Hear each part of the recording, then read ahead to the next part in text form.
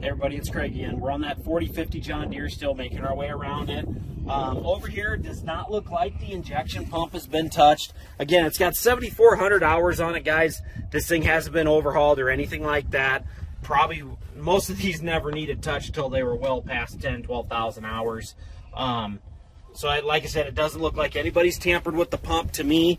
You've got your uh, spool valves down here for your loader. Now it is only a two position spool. You can add a third to these if you wanted to. And remember, your cables go up into your cab and this is a joystick controlled loader. So you got the single joystick up there in the cab.